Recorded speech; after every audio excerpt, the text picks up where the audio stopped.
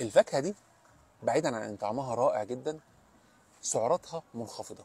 يعني الخمسة منها تقريبا ب 50 60 سعر حراري مليانة بالفيتامينات والمعادن ومضادات الأكسدة. بتحمي الجسم من الأورام السرطانية وبتشيل السموم الموجودة في الكبد. وفيها بقى حاجة مهمة قوي إن في مادة اسمها أوليجونول ودي من مضادات الأكسدة. عملوا عليها دراسات لأنها بتقلل مستوى الكورتيزول في الدم والكورتيزول ده اللي هو مستوى هرمون التوتر فبالتالي بتزود حرق الدهون في منطقة البطن.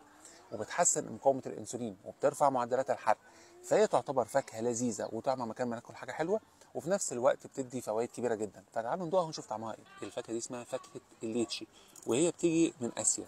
بتتقشر زي ما أنتم شايفين كده الوش اللي فوق ده القشرة اللي فوق دي بتتقشر. تمام؟ بنشيل كل القشرة دي كده بنقلعها يعني القشرة وبتبقى بالشكل اللي أنتم شايفينه ده. تمام؟ وبنلاقي جواها بذرة بتتاكل.